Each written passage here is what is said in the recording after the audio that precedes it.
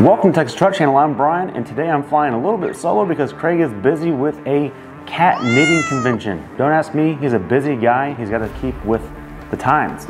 What I'm going to cover today is the Jeep Gladiator build. We've been talking about it, we've been teasing it, and if you've been following along, we've shown you the truck, we've introduced it, and we've already gone up the hill with it and shown that it actually gets some things done. But there's a few drawbacks. But beyond its capability, it drags its belly and it's traction limited with those tires. So today we're going to follow the same mindset of cheapness. We're going to see how cheaply can you get something that is extremely capable for the dollar. $31,000 for the truck, and then how cheap are these mods we're going to talk about today. We'll cover that at the very end of the episode. But let's get into what we're going to cover. First things first, you can't go off-roading at all without lights. So let's get that covered. Boys, come on in. I've got some helpers today to fill in for Craig. We've got the Hella 500 series lights, and they can read, and these are how you mount them. And let's cover these really quick. These guys together are less than 150 bucks on Amazon. Um, we got them on Black Friday for a little bit less, but that's the going rate right now for this setup. Okay, so the theme of this thing is black and white, and that's close to black and silver. We're gonna run with that. That's the logic. Also, it's the price mostly. But it is a big size uh, light. It's about the size of my face, which is just what you want for, you know, adding inches. Um, and most importantly, these are not LED. We did not want a super bright, out of place LED design. We wanted to make sure we had a halogen bulb to match the rest of the lighting package because we don't have a budget to do headlights and fog lights as well. So let's pop this cover off because you can't run with too many elements in most states legally. And so, yes, is that true? Okay. And there you go. You can see right there that it is not a bright white. It's actually got some smoked lens to it. I'm really happy with that. That's pretty cool. I can't remember the name. We got them on Amazon. They're all over. You can find them. There's a ton of mounts that mount to the windshield bracket on the JL and JT, meaning Gladiator and Wranglers. That's the beauty of this truck is the front half is just a Jeep. Yep, Gerbo. J-E-R-B-R-O. Gerbor. Gerbor? I don't know. These are anodized. They are just silver. I think they look better. You can get them in red and different colors. There's a lot of options for these. About 20 bucks. Really clean way to mount them. Hmm? I think I can read it correctly. You think you can read it correctly? What does it say, Henry? It's... Gerbor or Gerbo? It's... Gerbor. Gerbor? Okay. Henry, it's, it's official. Henry called it Gerbor. Okay, we got it. Set those guys aside. That's the lighting package. Now you'll fit in at Whole Foods and everywhere else. All right, next up are springs. Hand me those, buddy. Oh, big boys. Okay, good job. These guys right here, these are Rubicon springs, Henry. And more importantly, they're off of a diesel Rubicon, which means the front spring is designed to hold about three to 400 pounds more weight. And also the spring rate consequently is about 10% stiffer than the regular gas Rubicon. Now, the internet will tell you all kinds of things about this. Mostly that these will ride awful on a two-door lightweight Wrangler, um, but no one gives you a good answer if this works on a Gladiator. We're gonna find out. I feel like if you're gonna do a winch bumper and a winch up front, this might be a perfect alternative to an expensive or paying for springs because these were free. Thanks, Michael, for helping the show out with that and chunking these in there. Um, Moral of the story is there's a lot of free parts in the Jeep community. This might be perfect. This should lift it at least an inch and a half. We're gonna measure before and after and let you know. All right, that's one of two free mods. The other free mod are the rock rails that we've already put on the Jeep. They came off of Rubicon. They were free from Marketplace as well. Glad to have those for aesthetics alone, plus protection. Now, the other issue we have is traction. Let's bring in the wheel and tire. Oh. Okay, this one's a bit heavy. Um, look, but the moral of the story is these are right off of a Willys Jeep with the off-road package. Not all of them have this, and a lot of them have the Firestone tire mud terrain. This is a BF Goodrich mud terrain. I prefer these slightly, um, but I'll be honest with you, I haven't run them on the highway yet, so they might be a little too noisy for my preference. Um, so I might be totally wrong with that. But we do get a 17-inch wheel, same um, size, 17, 9, and 18. Um, their, our base Steelers have. This is an aluminum wheel though, so it's a little bit lighter and this mud terrain is going to give us a lot more grip. It's about half an inch taller than the tire we have right now. We have 32s on it now. This is about a 32 and a half. For size, these guys are, let's see, they're C range, which is gonna mean, means they're gonna be stiffer sidewalls, which is good for uh, puncture resistance, but it means they're gonna ride a little bit worse. These are 255, 75, 17s, and they are a three ply sidewall. That just means things are gonna be beefy and they're gonna get it done. And look at that tread pattern we might miss our Dueler HTs because they're so quiet on the highway. And we have a trip coming up that's going to be a lot of highway miles. So this might be problematic, but we're going to find out. So, moral of the story is we're going to make this thing ride higher, probably ride rougher and be noisy on the highway. So it should be a Jeep thing. Um, we've got one last surprise mod that I'm not going to show you till the very end. Mostly a surprise for Craig. So let's get into it and start bolting these things on. All right, we've got our springs out. These are the original sport springs, and these are the diesel Rubicon springs. And they look to be almost identical in height. Um, the one thing we did notice is that there's more coils going on on the Rubicon, and they're definitely thicker. Camera may not pick that up, but if you look at the the end cutouts, the th uh, thickness of the Rubicon spring is a lot more. Uh, it feels like it's about 20% thicker. And when I go to push on it, it feels like it has more dynamic range, but I'm just guessing with the wrist. We'll see what it is to drive. But that's the difference to the naked eye. Now with the old, in with the new. All right, Brian, you ready? Let's do it. This is after we put the heavy duty, well, I'm sorry, heavy diesel Rubicon springs. We're at 37 and an eighth or a quarter, somewhere around there. 37 and a quarter from Yes, my you know, 37 and, you know, 3 16ths, whatever. Point is, we gained, we're at 35 and a And half. half. So almost two inches. Almost two inches, a little less, but a yeah. Which is what we're hoping for. that's quite a bit. Okay, rear. Rear, 30 even prior now with the Eco Diesel springs. We are at 38, I'd mm-hmm. say and a half. Yeah, So, yeah, we'll make it even. yeah. Yeah. So we gained about a half inch in the rear. All right, we're not going to talk about all the goodies there. This is not a, a hill test. This is a, look, we're updating you on the mods, long-term test on this Gladiator. Let's see what the springs with the height and the tires with a little more height and grip get us. Traction off.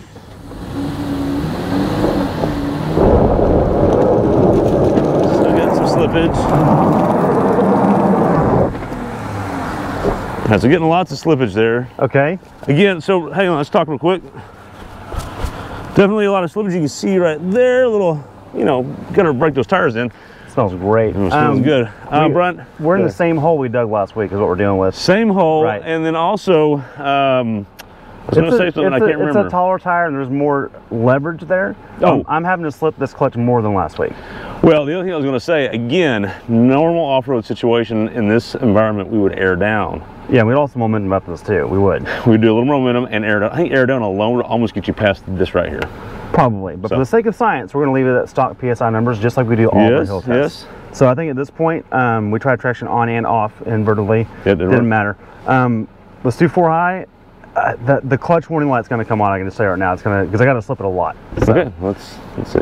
full drive is engaged. Okay, we are in four high. We got power to the front now. Let's see what happens.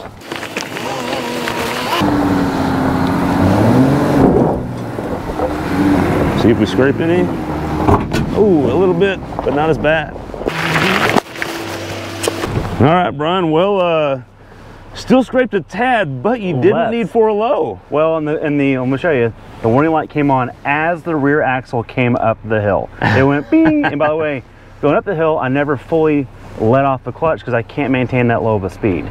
So I'll tell you, if we do at idle in first gear, we're already momentuming up the hill, and I'm trying to avoid that. All right, Brian, so what we're gonna try now, there's one thing we can try. We can try four low, because we mm-hmm. wanna see if we go a little slower with more control. Yep. not burning the clutch up. Can we not suspension bounce that control arm Oh, and maybe avoid some Because compression. you did, you barely touched it, but we had a more, sp- little more speed this time. I bumped it a little bit. Yeah. Okay, let's try that. All right, let's give it a shot. All right, we're in four low now. See if we can crawl up this and not bump that control arm a little bit. It gives us a little higher idle, so it's easier to creep. You can see no problem here. Easy and over. A little bit in the same spots, but barely. All right, Brian, so four low gives it a little bit higher idle, a little easier to creep. Yeah. Um, by the way, I had the clutch fully diseng or unpressed the whole time. Wow. It- that was it. Just crawls basically really idled good. up. Pretty much. Yeah. Now I was giving a little gas to keep it Okay. alive, but it can crawl at one mile an hour. very good. That's really impressive. So still a little bit of a scrape on that part of that fuel tank and the control arm, but Okay. not near as much. It's more of a brush than a scrape, I would say. It was a scrape last time. Definitely sure. made a difference um, for a 137 inch wheelbase. That's Excursion, by the way. That's Ford Excursion wheelbase. That's not bad at all. Now I'm impressed, and we've got one thing left to test. Yes, let's go try that out. Zero to sixty, baby. Oh baby, oh baby, let's do this. You know what they say, Craig? What's that? The mud terrains are just the only way to go. Do they? Yeah. Oh, the kids say it all the time. Oh, okay. Well, they must be right. It's a sport, but also now it's kind of a Willys sport. Let's see what the KM2s do, baby.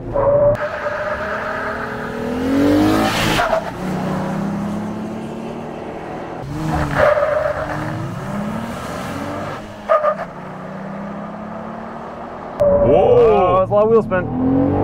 Oh, okay. Okay. Good thing you're scratch. Come on, 6K. Bang it. Okay, all right. Okay. With me in the car, I am surprised by this number. Are you? Well, Hey. before you say it, what did you think it was going to be beforehand? Well, hang on. Last time it was 7.8 Yes, it was. on our best run, 7.81. Yes. Beforehand, I thought it would uh, be around 8 flat.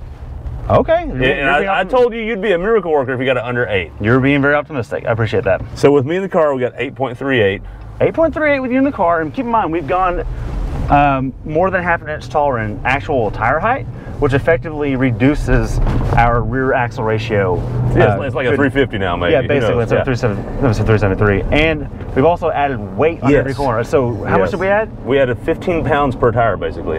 Oh, that's a lot, and because that's lot. rotational mass. Yes. So imagine 15 pounds added to the drive shaft or the flywheel to try and rotate up. Yeah. that's a lot. We did a bunch of things to make it worse. right. Do you want to know what I got without you in it? Uh, yes.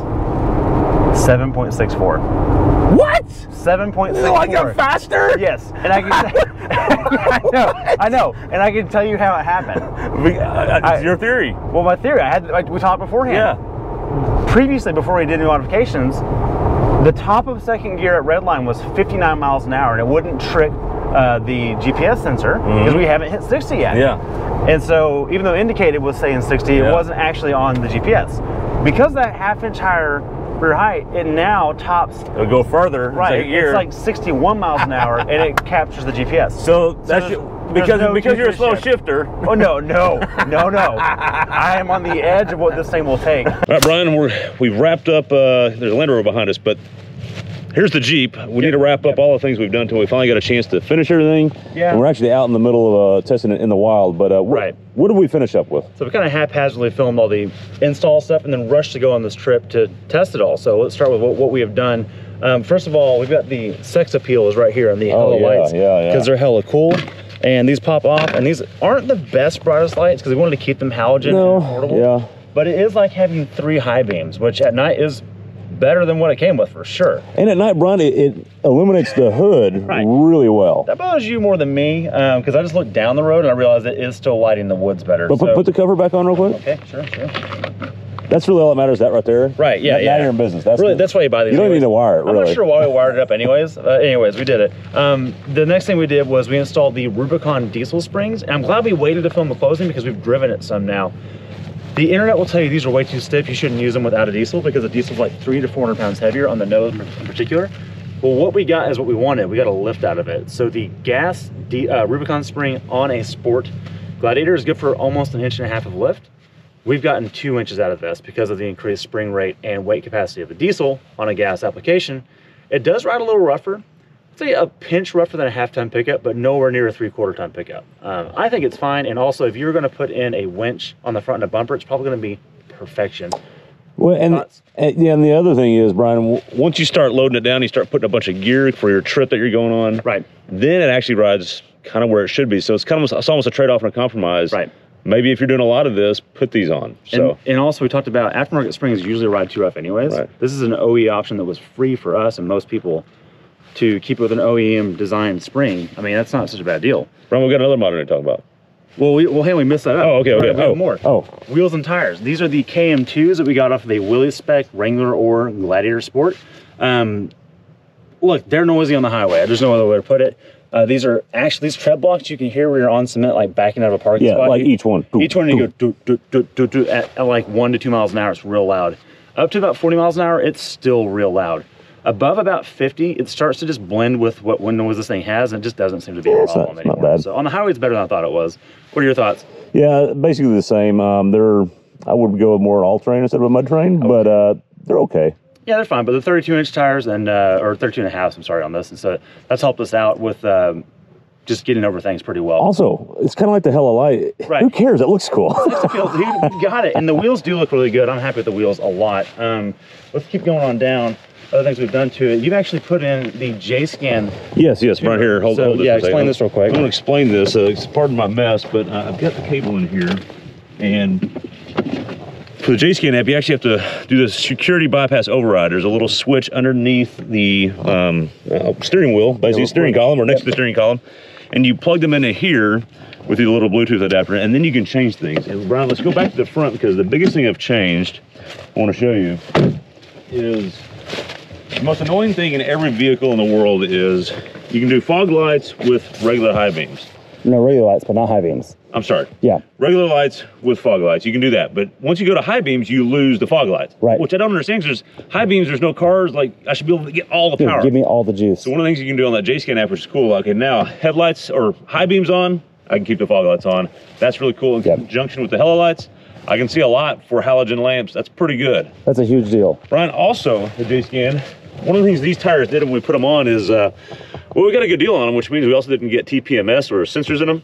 Yep. So it's throwing the TPMS light. I basically just said, hey, uh, ignore that. We don't really care. That's nice. Yeah, you can deactivate it and there's no lights in the dash. I like that a lot. Uh, there's one other thing we did, Craig. I want to come back here. This is actually a gift from uh, sponsor on Amazon. Oh, yes. I'll put their link down below uh, so if you guys want one for yourself. But it's actually really reasonably priced and it's this bed mat. It's been great because we have destroyed it on this trip so Yeah, far. we've just thrown stuff in the back. and it hasn't mattered. It just doesn't matter. And if you don't want to do like, uh, maybe you don't want to invest in a bed liner or you don't want it to be grippy all the time. Sometimes you want things to slide in the bed. This is kind of the best of both worlds. I would actually get one of these if it were ours to keep. It's a great compromise, and look how good it fits. Like it's actually really Oh, yeah. good fit. It's, I was- it's definitely a laser scan to go in here. that was like- my first thing that I was surprised. Yeah. with. Like, wow, that fits really good. I've gotten some more premium ones for other trucks in the Yeah. past, and they curl in the corners and things like that. This one fits really I had good. those DZ ones. They're like a name brand. I've Mhm. had those things flop all around. This doesn't flap at speed at all. It's great. And it's thinner. It's made of like a thicker WeatherTech, if you think of it that way. Um, oh yeah, last thing, Craig, which I know we've talked about this already, but we haven't actually hit these yet. But the rock rails that were also free, just make it look right. If you have a sport, if you do nothing else, add those. It makes a big difference. And we're about to go on a trail. We're actually on location in the Ozarks. No, we're not money launderers. We're just here to enjoy the forest and we want to check it out and see how it does. So on the next episode, you'll hear all about that. Thanks for watching. Anything else, Craig? That's it. Subscribe, like. All that. See you next time.